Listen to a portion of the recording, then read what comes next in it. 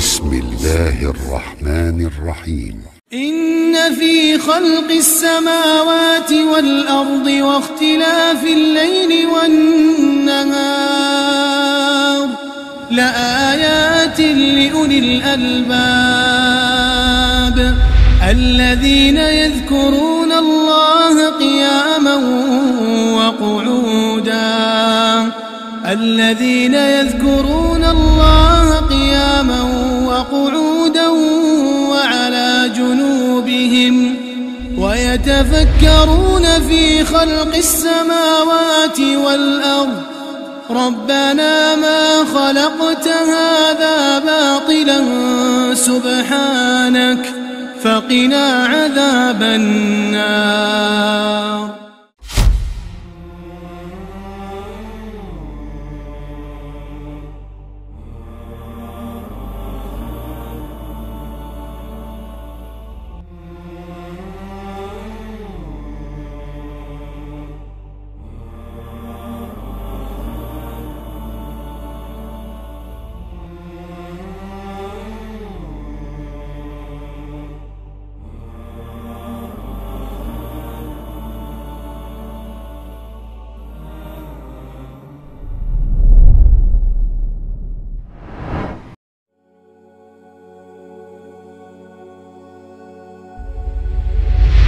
Vom Beruf Buchhändler und Kalligraph hat Kitab al-Firist zusammengestellt ein Werk, in dem alle Bücher aufgeführt sind, die jemals in arabischer Sprache geschrieben und aufgezeichnet wurden.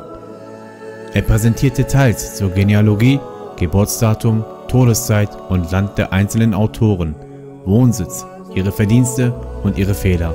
Für alle Bücher, die jemals geschrieben worden waren.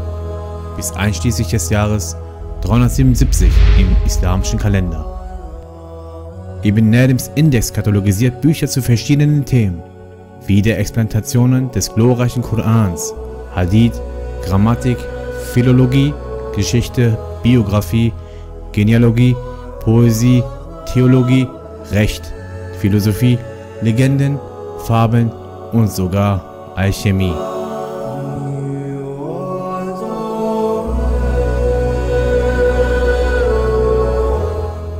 Liefert dem Leser in jedem Buch auch genaue Informationen über die Anzahl der Seiten und Kapitel und zitiert auch die Namen berühmter Kalligraphen, Bibliographen und Bibliotheken.